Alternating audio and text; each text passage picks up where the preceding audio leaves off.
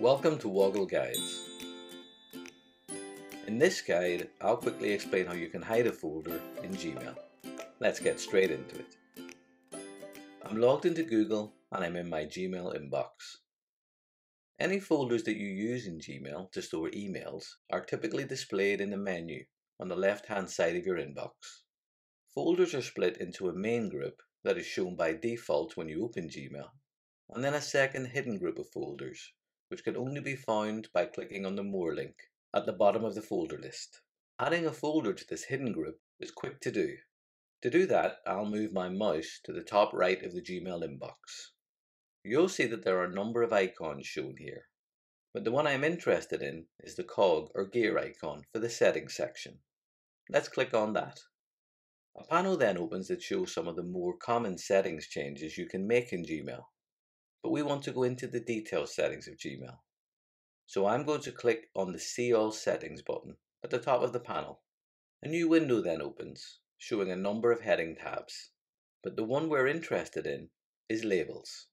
Labels are what Gmail calls folders, so when you see labels referred to in Gmail, you can just think folders.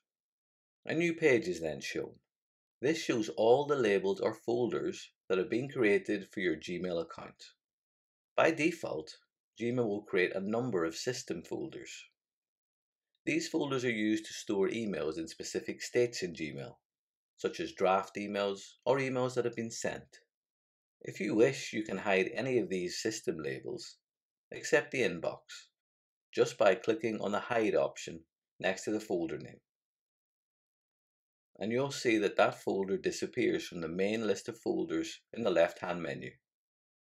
If I scroll down that page, the next group of folders shown is categories. By default, Gmail will automatically sort any emails you receive into these groupings, storing all your social or promotional emails together. As with system folders, however, you can choose to hide some or all of these groupings, depending on how you want emails to be displayed in your inbox. The last section of this page contains all the folders and subfolders that you've created for yourself in Gmail. Just as with system labels, these can be hidden just by clicking on the hide link next to the folder name on this page. And you'll see that Gmail confirms that the birthday surprise folder has been hidden from the label or folder list. If you want to find out how to permanently delete a folder in Gmail, check out the Woggle guide shown above that explains how to do this. I hope you found this Woggle guide useful and learned something new.